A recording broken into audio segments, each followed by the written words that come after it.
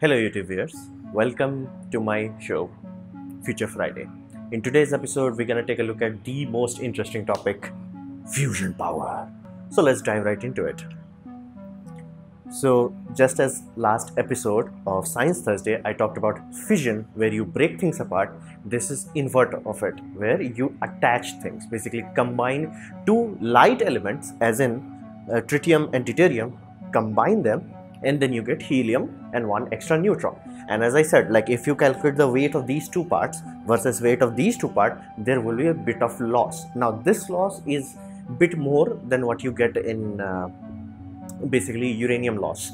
So this gives you a lot of power.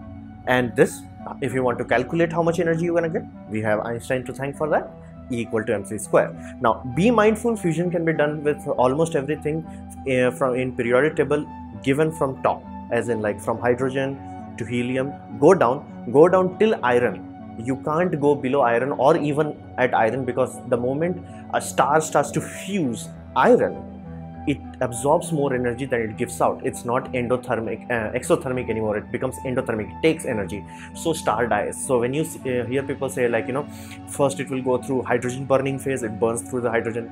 Then it starts to burn through helium. It can keep going until it reaches in a, a stage in periodic table where there is iron. The moment it reaches iron, the star is dead from the inside. Now, other things can blow it apart before that, but if you are writing a sci-fi novel, copyright me, uh, show them that they have helium reactor or something heavier than that because that inherently gives more power. Helium specifically, to give you an idea on context how much powerful helium reaction would be, is that if our sun started burning helium, which it will do when it starts to grow, its size will grow as uh, you know as large as Earth's orbit. And heck, it can go even further than that. So that's fusion. You can do fusion till iron in the periodic table, and generally hydrogen is the easiest to fuse.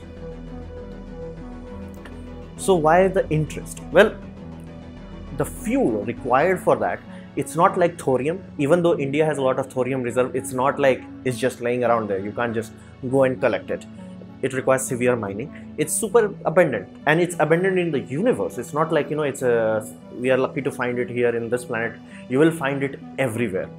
So it's quite abundant quite cheap. Second this is the crucial aspect. This is the sole reason why anybody even cares about this. Is 24 into 7 power. Basically what we call base load capacity.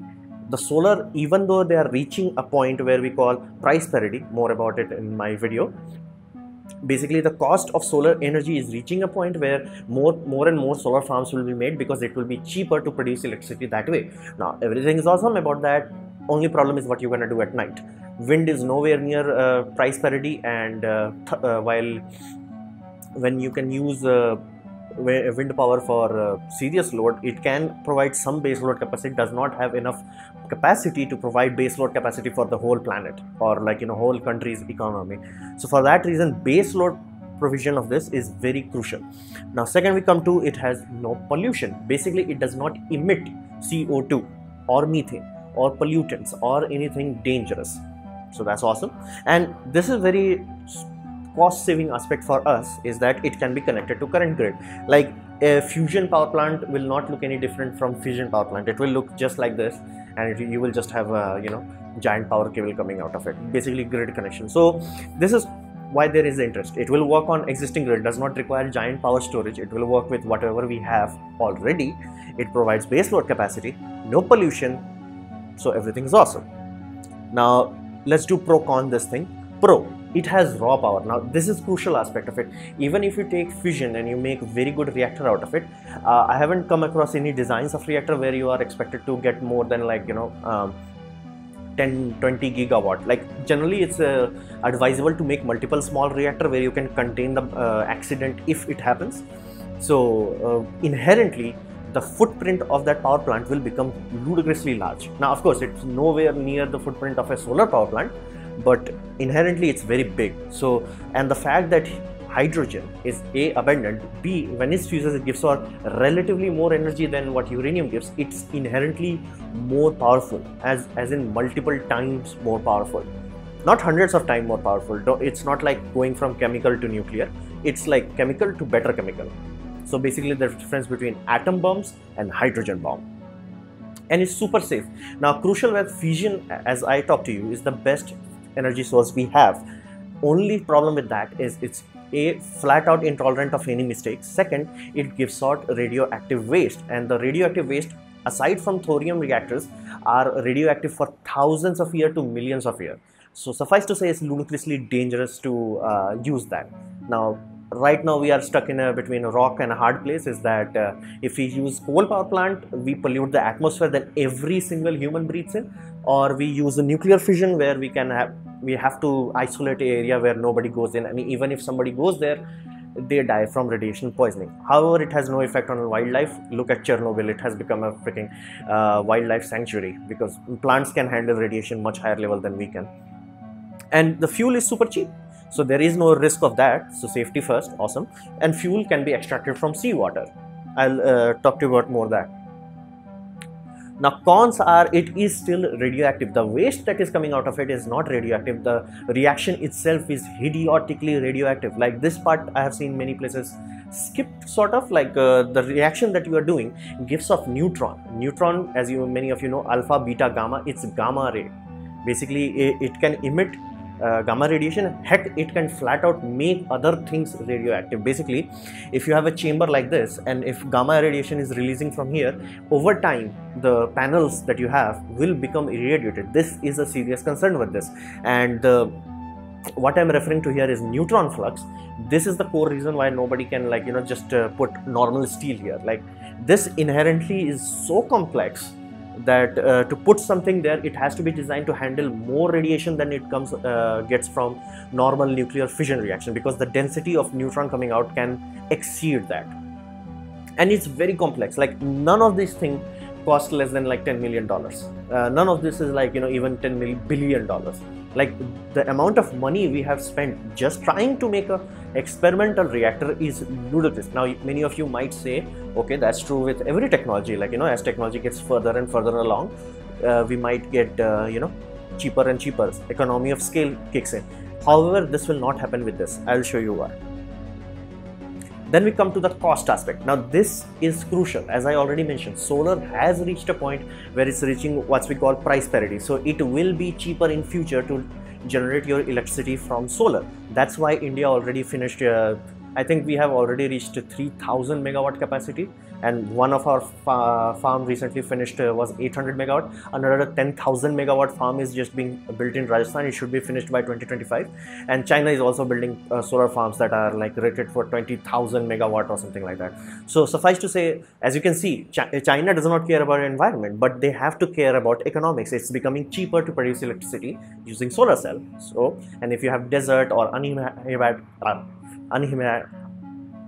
sorry uninhabitable lands basically where people cannot live. You will be in a scenario where like just use it for solar power. Even because most of humanity's power consumption happen during the daytime so it's generally wise to do so. The reason why i said the cost of this will not be cheap inherently is because this has what's called superconductors and cryogenics. Now how they are achieving fusion? A is they are creating a plasma as many of you know plasma is the fourth state of matter. Basically electron is split from the nucleus. So what they get is raw and it is electronically charged. Basically it has positive or negative charge. Benefit of that we can control it using magnetic field. Now this is that magnetic field generator. Now that's a cut section of a tokamak reactor. This is the advanced tokamak reactor design where they are twisting the magnetic field such a way that uh, at the point of twist where they are twisting they'll get a lot of fusion and when I said the fuel is abundant, that's mathematically true, however, not absolutely true. The reason for that is that it uses rare isotope. Uh, when you take hydrogen, normal hydrogen, it does not have the isotopes that we need for fusion. Uh, deuterium and tritium, they are rare isotopes. Of course, one is uh, much more rare than other one, and we haven't reached a point where we can just take, you know, electro do electrolysis, get the water, uh, get hydrogen, and do fusion with it. We haven't reached that point yet and the electronics needed for this is very complex. Not to mention material engineering is the biggest hurdle of this is because i already mentioned everything built here has to handle insane amount of neutron flux. And that can destroy things from the inside as in on a molecular level it can destroy things. So building something that can last uh, for 10 20 years is very crucial. Many things you have to also understand. This presents as I talk to you, is the largest gradation of temperature existing in the universe because one side, basically the side that contains the electromagnet, is at near zero, near absolute zero, as in like minus 230 degrees Celsius, and the core side where the plasma is, it's at 15 million degrees Celsius, which is hotter than sun's core and it's also hotter than uh, chromosphere of the sun. The reason why we need to go that higher is simply sun is getting the added benefit of gravity. Gravity is doing the crushing. Gravity is doing the main aspect of it. The temperature is not the crucial part. The gravity is that is crushing it so badly that uh, uh, before the temperature even reaches very high, it starts to fuse already. So that's why the cost is the crucial aspect of this technology.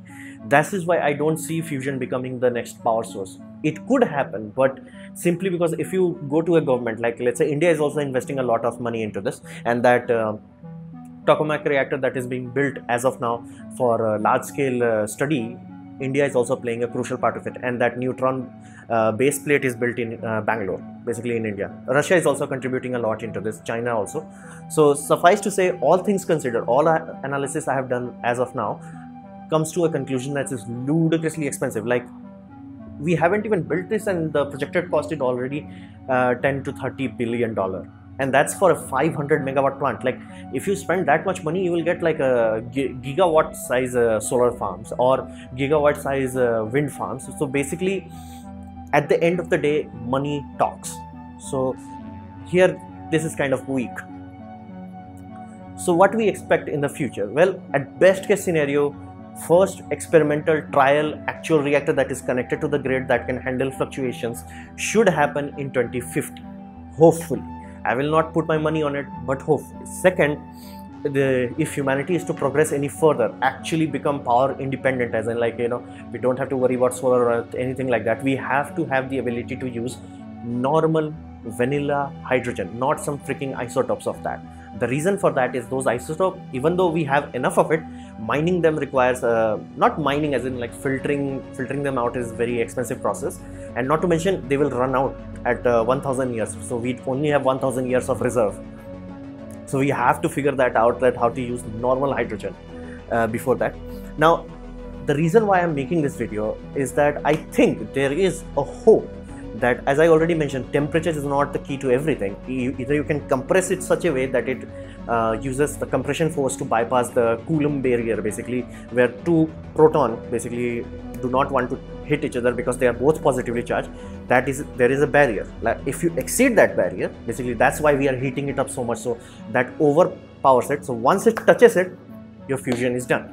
So to make sure it touches, either you make it very hot or you do what general fusion link in the description below. They are trying to do i am hopeful for that is simply because they are using what's called plasma uh, plasma injection. Basically they have a lot of piston they will inject the plasma and uh, the plasma is not already fusing it's there it's normal it's super easy to make they will compress it they will compress it using this pistons as you can see this is a small scale version and once they compress it this compression area that you are seeing is not vacuum, not like uh, tokamak reactors. What it actually is is a liquid metal, basically either lead, uh, molten lead, basically. So they will compress that, and due to that compression, the fusion will happen, and it will give energy to the liquid metal. That way, they also bypass the headache of uh, dealing how the hell they're gonna deal with neutron damage. So basically, that neutron is being absorbed with by lead much more effectively and because they are circulating the lead they can add new lead if lead get destroyed on a molecular level or it gets radioactive they can simply siphon it off from the reactor so general fusion i am more hopeful for that because they have cheap design inherently you cannot go to a small country or a developing country and say give me 500 uh, dollars or 50 billion dollar i'm gonna give you a power plant that barely gives you 1 gigawatt of power. So cost parity is crucial. So best case scenario we get our, uh, our first reactor in 2050 and hopeful i'm hopeful that we'll have cheap design. I am putting a lot of faith in general fusion design link in the description. So this was my presentation on nuclear fusion. I hope you liked it or learned from it. In that case please like if you don't don't worry about it dislike it. Leave a comment what you want to see in the next episode of future friday. And subscribe press the bell icon as i make video every day. And as always thanks for watching